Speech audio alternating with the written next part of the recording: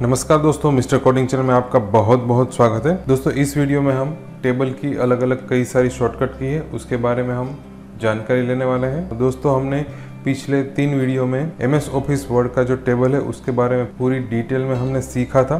तो अगर आपने वो वीडियो नहीं देखे हैं तो आप इस ट्यूटोरियल की जो प्लेलिस्ट है, उसकी लिंक इस वीडियो के डिस्क्रिप्शन में हमने दे दी है। तो वहाँ से आप उसको ओपन करके सभी वीडियो स्टेप बाय स्टेप देख लीजिए, ताकि आप एम एस ऑफ़िस वर्ड बहुत ही आसानी से सीख जाओगे। और दोस्तों, यहाँ पे टेबल की जितनी शॉर्टकट की हम सीखने वाले हैं, वो सभी शॉर्टकट की आप डाउनलोड कर सकते हैं। उसकी भी लिंक हमने डिस्क्रिप्शन में दे दी है तो वहाँ से आप क्लिक करके डाउनलोड कर सकते हो। तो दोस्तों, अब हम टेबल की अलग अलग कई सारी शॉर्टकट की है, वो हम यहाँ पे देख लेते हैं। यहाँ पे दोस्तों, मैंने M S office word open कर लिया है। और दोस्तों, यहाँ पे पहली ट्रिक है, हमें टेबल क्रिएट करना है। तो किस तरह से कर सकते हैं? हम प्लस और माइनस निशान। ये जो दो सिंबल है प्लस और माइनस के, उस सिंबल का यूज़ करके हम टेबल क्रिएट कर सकते हैं दोस्तों। किस तरह से करना है? दोस्तों प्लस का सिंबल है, वो कॉलम दर्शाता है, और जो माइनस का सिंबल है, वो कॉलम की विथ दर्शाता है। तो यहाँ पे हम कॉलम शुरू करेंगे माइनस की निशानी मतलब कॉलम की विथ फिर से कॉलम शुरू करेंगे माइनस निशानी कॉलम की विथ कॉलम कॉलम की विथ और फिर कॉलम। इतना करके आपको एंटर की प्रेस करनी है। जितनी कॉलम आपने यहाँ पे रखी होगी, उतनी कॉलम का टेबल क्रिएट हो जाएगा। तो यहाँ पे दोस्तों मैं एंटर की प्रेस कर रहा हूँ। तो यहाँ पे दोस्तों नया टेबल क्रिएट हो गया। फिर से दोस्तों यहाँ पे देख लीजिए किस तरह से करना है। प्लस की निशानी प्रेस करनी है, फिर माइनस की निशानी मतलब आपको कितनी विथ रखनी है कॉलम की। फिर से प्लस की निशानी, कॉलम की विथ प्लस की निशानी माइनस की निशानी कॉलम की विथ और फिर एंटर की। तो ये दोस्तों टेबल क्रिएट हो गया। तो यहाँ पे दोस्तों आपको सिंगल रो वाला टेबल क्रिएट करना है तो इस तरह से क्रिएट कर सकते हो। अगर दोस्तों आपको एक से ज़्यादा रो और कॉलम वाला टेबल क्रिएट करना है तो किस तरह से करना है? दोस्तों यहाँ पे शॉर्टकट की है, अल्टर ए, आई और टी। दोस्तों यहाँ पे इस तरह की जो शॉर्टकट की है, वहाँ पे थोड़ा आप ध्यान दीजिएगा। यहाँ पे आपको क्या करना है? पहले आपको की प्रेस करनी है, अल्टर ए।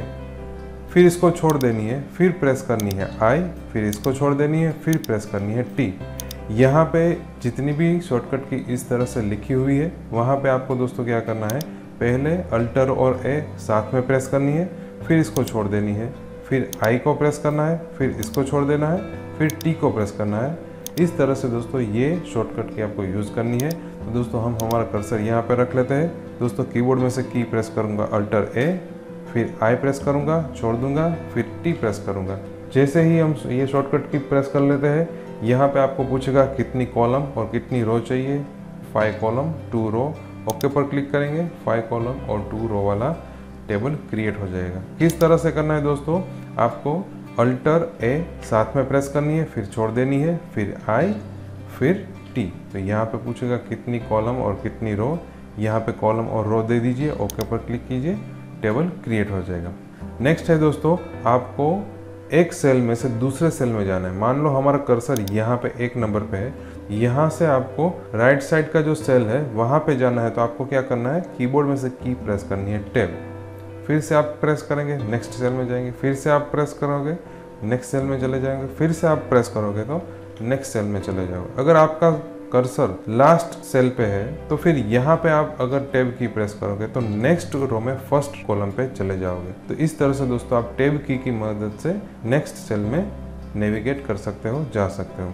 फिर दोस्तों नेक्स्ट ऑप्शन है, आपको प्रीवियस सेल में जाना है। मान लो हमारा कर्सर यहाँ पे है 45 पे और हमें 48 पे जाना है तो शॉर्टकट की है शिफ्ट टैब आप शिफ्ट और टैब दोनों साथ में प्रेस करना है। जितनी बार प्रेस करोगे, उतनी बार आपका जो सिलेक्शन है कर्सर है, वो प्रीवियस टैब में मतलब कि अगले सेल में चला जाएगा। फिर से मैं प्रेस करूँगा, फिर से आगे चला जाएगा, फिर से मैं प्रेस करूँगा तो ऊपर की जो रो है, उसके लास्ट सेल में चला जाएगा। फिर से प्रेस करूँगा तो उसके आगे चला जाएगा।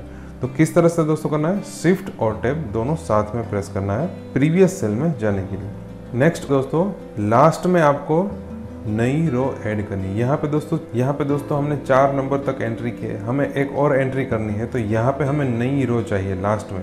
तो आपको क्या करना है? आपका कर्सर लास्ट रो के लास्ट सेल में ले जाना है और यहाँ पे जाके आपको क्या करना है? टेब की को प्रेस करना है। तो यहाँ पे लास्ट रो अपने आप आ जाएगी और यहाँ पे आप एंट्री कर सकते हो। किस तरह से करना है दोस्तों? आपको अपना कर्सर लास्ट रो में रखना है, फिर टेब की को प्रेस करना है। अपने आप नई रो ऐड हो जाएगी और यहाँ पे दोस्तों आप एंट्री कर सकते हो। फिर दोस्तों नेक्स्ट शॉर्टकट की है, आपको दोस्तों नई रो ऐड करनी है। जिस रो में आपका कर्सर है, उस रो के ऊपर के बाजू एक नई रो ऐड करनी है। तो इसकी शॉर्टकट की है अल्टर ए आई ए यहाँ पे दोस्तों ध्यान दीजिएगा, आपको पहले प्रेस करना है अल्टर ए साथ में प्रेस करना है, फिर इसको छोड़ देना है।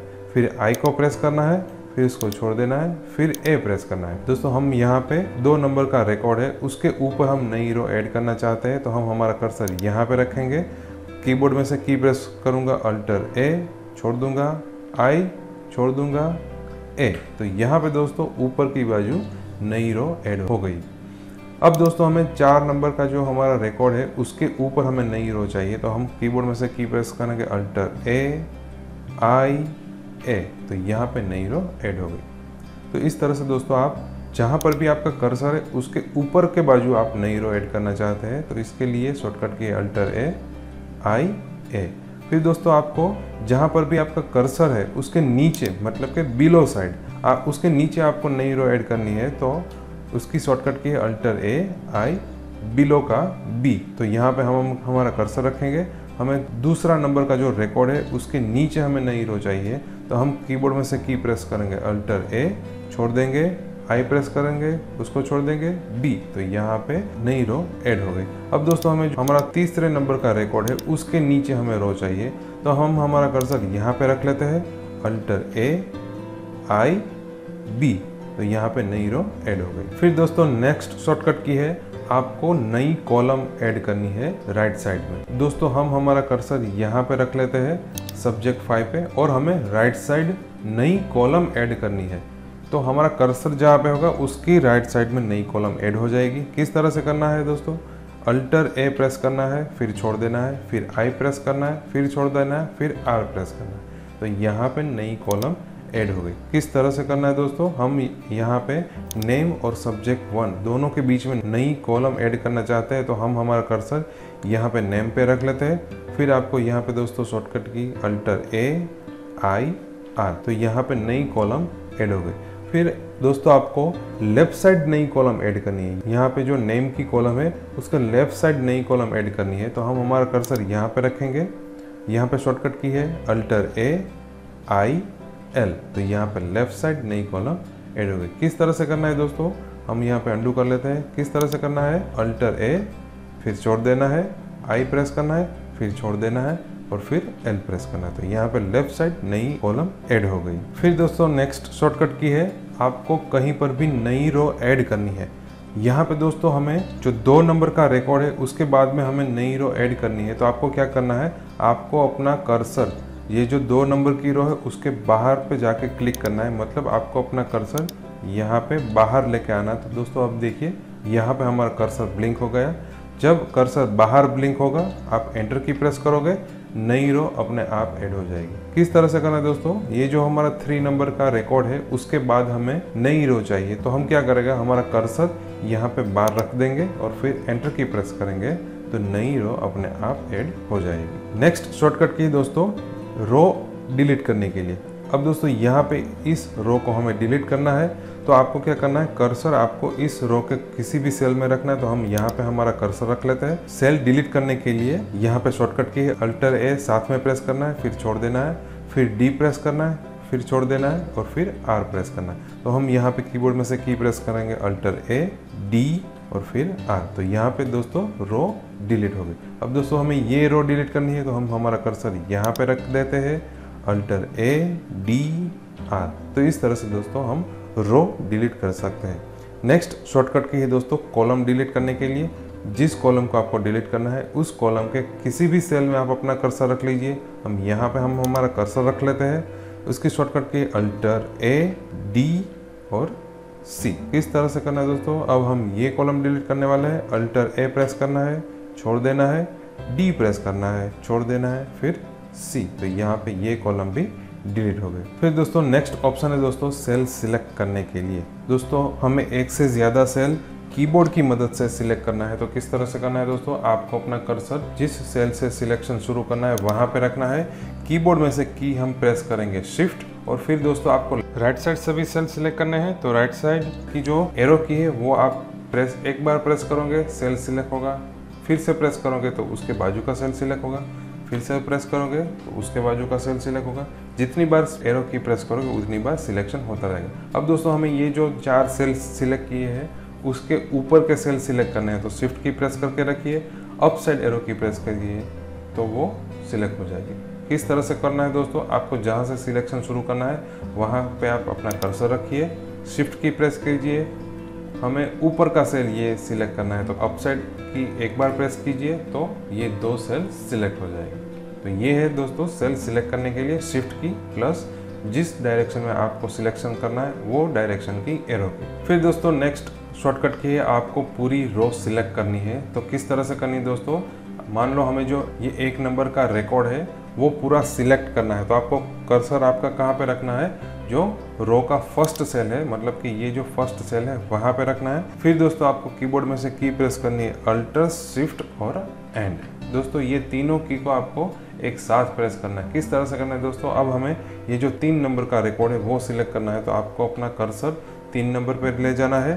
फिर आपको ये तीनों की को आपको साथ में प्रेस करना है। अल्टर शिफ्ट और एंड तो ये पूरी रो सिलेक्ट हो गई। उसी तरह से दोस्तों हमें पूरी कॉलम सिलेक्ट करनी है। कीबोर्ड की शॉर्टकट की में से हमें पूरी कॉलम सिलेक्ट करनी है। तो आपको क्या करना है? जिस कॉलम को आपको सिलेक्ट करना है, उस कॉलम का जो फ़र्स्ट सेल है, वो वहाँ पे आपको अपना कर्सर रखना है। मान लो दोस्तों हमें यहाँ पे नेम की कॉलम है, वो सिलेक्ट करनी है तो हम हमारा कर्सर यहाँ पे रख देंगे। फिर दोस्तों आपको कीबोर्ड में से ये तीन की है, उसको आपको एक साथ प्रेस करना है। अल्टर शिफ्ट पेज डाउन तो यहाँ पे पूरी कॉलम सिलेक्ट हो गई। किस तरह से करना है दोस्तों?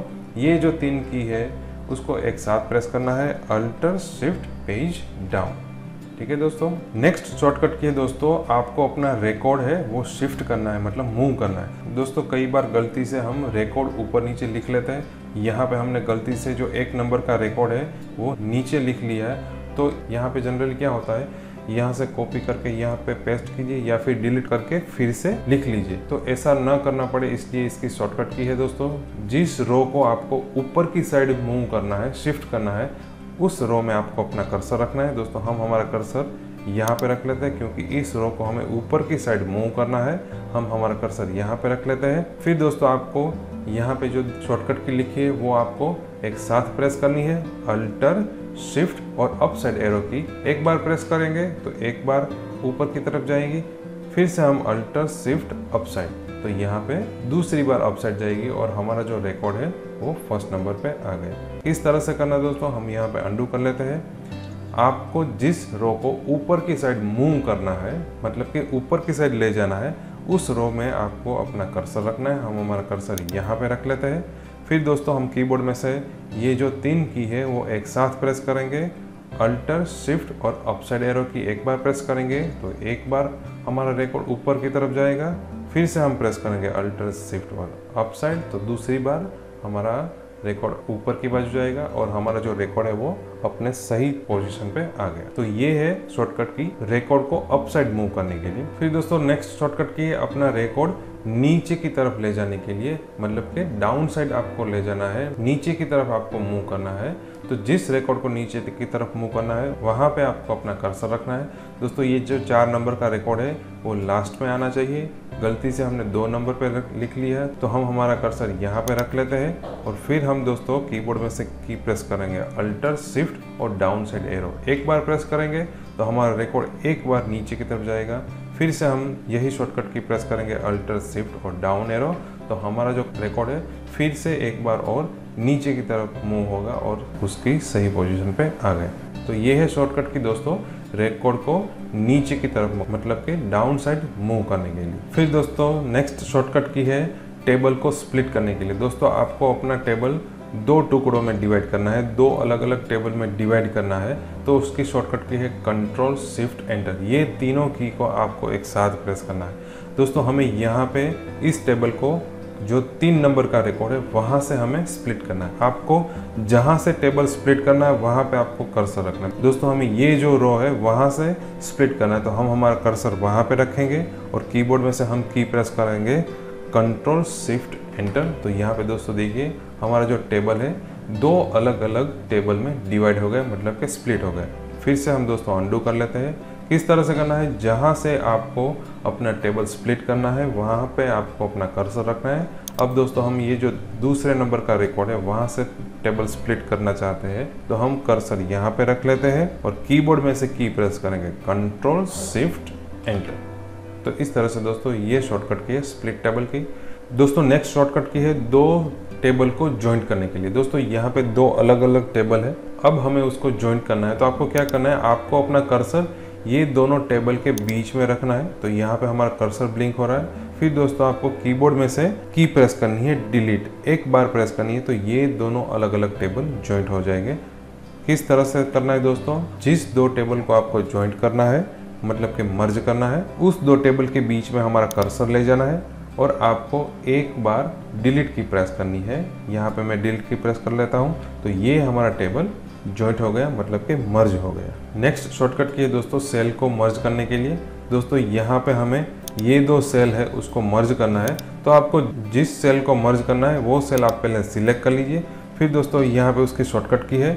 यहाँ पे दोस्तों, आपको पहले अल्टर है एक साथ प्रेस करना है, फिर इसको छोड़ देना है, फिर एम प्रेस करना है। तो दोस्तों, यहाँ पे मैं अल्टर ए और फिर एम तो यहाँ पे देखिए दोस्तों, ये दोनों सेल मर्ज हो गए। किस तरह से करना है दोस्तों? यहाँ पे दोस्तों, इस तीन सेल को हमें मर्ज करना है तो उसको हम सिलेक्ट कर लेते हैं। फिर कीबोर्ड में से की प्रेस करेंगे अल्टर ए छोड़ देंगे, फिर प्रेस करेंगे एम तो यहाँ पे दोस्तों देखिए, ये तीन सेल मर्ज हो गए। यहाँ पे हम बाकी का कंटेंट डिलीट कर सकते हैं।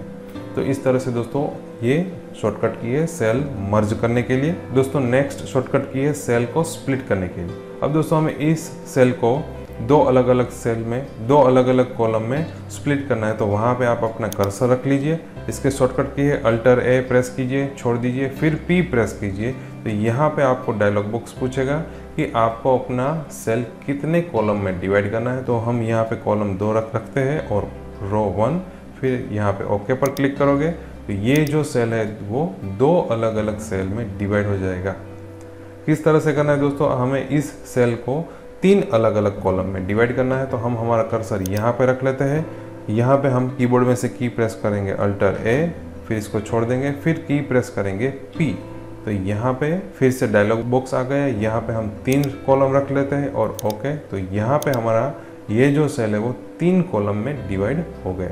तो दोस्तों, ये थी टेबल की शॉर्टकट की। तो दोस्तों, हमने यहाँ पे अलग अलग 21 शॉर्टकट की के बारे में जानकारी ली है। दोस्तों, ये सभी शॉर्टकट की है, उसकी आप प्रैक्टिस कर लीजिए। और ये जो फ़ाइल है, वो डाउनलोड करने की लिंक भी हमने इस वीडियो के डिस्क्रिप्शन में दे दी है, ताकि आपको समझने में आसानी रहे। दोस्तों नेक्स्ट वीडियो में हम इंसर्ट टेप के अंदर यहाँ पे जो नेक्स्ट ग्रुप है इलुस्ट्रेशन ग्रुप वो सीखने वाले हैं। तो हमारे साथ जुड़े रहिए। और दोस्तों, इस वीडियो के टॉपिक में अगर आपको कोई कन्फ्यूज़न है तो हमें नीचे कमेंट बॉक्स में बताइए, जिसका हम सॉल्यूशन आपको ज़रूर से देंगे। दोस्तों बहुत बहुत धन्यवाद। Thank you